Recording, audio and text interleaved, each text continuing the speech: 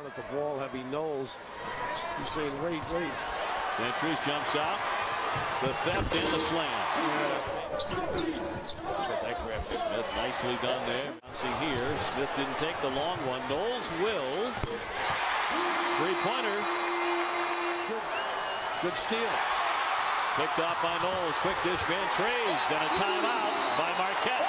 There is life in Louisville. Knowles catches, shoots. Got it! It's a three. Got to bail him out. Smith penetrates, airborne, got it! Marquette is suddenly falling apart offensively. Knowles with a long one.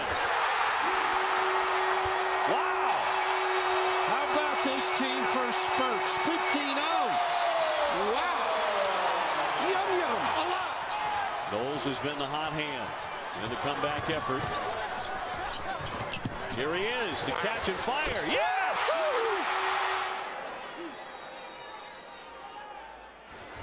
How about that, huh? One point game. They press again.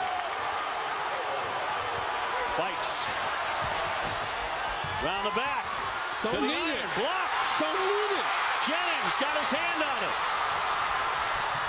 12 seconds left in a whistle as that one is a timeout by Louisville. 12.2 seconds to go.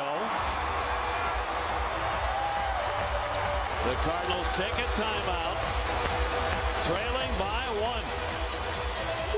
What a finish. Dwight Buycks got to understand time, score. Gives this Louisville team a, a terrific opportunity. Beat it, bring it back out. They foul you, so be it.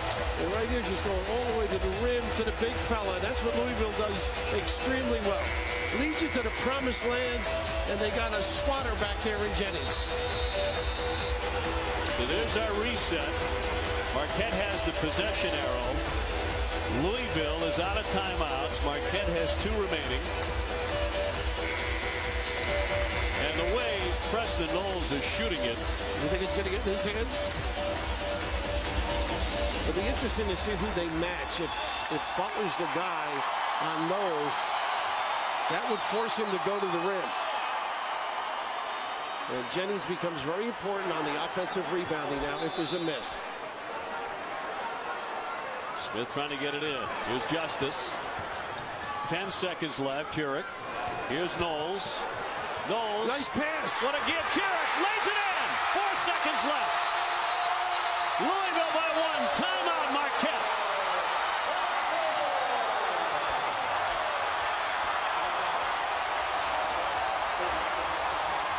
Louisville surging into the lead.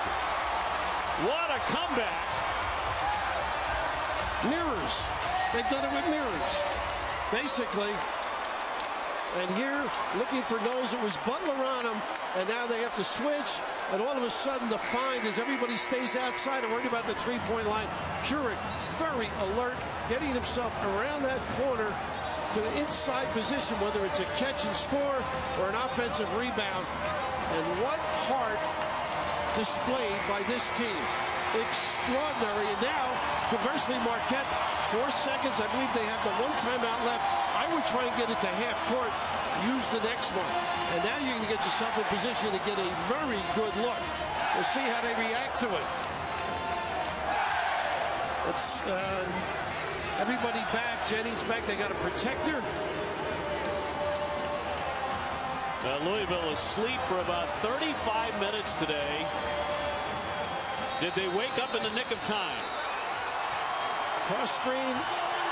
Butler at midcourt.